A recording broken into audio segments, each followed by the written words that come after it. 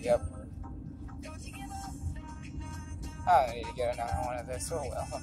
Oh well, I don't need to get the cross thing. That is if it's open. Oh, I could Delameter, Delameter, Delameter.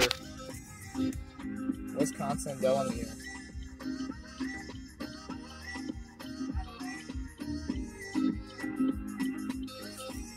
Oops. I